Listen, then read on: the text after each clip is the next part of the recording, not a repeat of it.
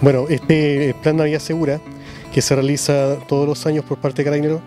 en el que la segunda comisaría Mulchen ha redoblado su esfuerzo para tener un contingente eh, en el sector céntrico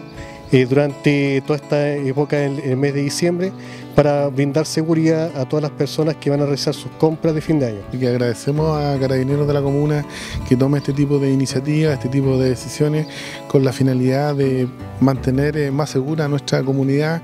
que por sobre todo eh, aparece en el mes de diciembre haciendo sus compras, mayoritariamente para celebrar la Navidad y para celebrar el Año Nuevo. Así que yo quiero agradecerle al mayor eh, Jiménez que se tome este tipo de medidas y que por supuesto tengamos un fin de año que sea bueno para toda la familia, en especial de Mulchen, y recibamos también un año 2018 eh, también que sea mejor que el 2017. Así que se agradece a Carabineros todo este esfuerzo y todo este despliegue que hacen la única finalidad, como bien lo señalo, de proteger a nuestros vecinos y vecinas. lo primero, eh, para las personas, es recomendarles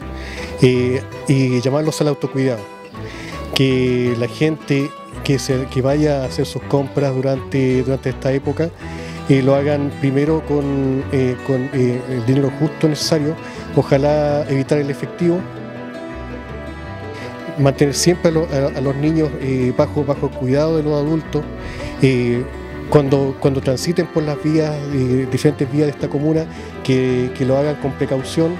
El uso del teléfono celular también, eh, mucho cuidado con eso, porque también muchas veces las personas se, se distraen y pueden ser víctimas de algún tipo de delito o algún tipo de accidente de tránsito.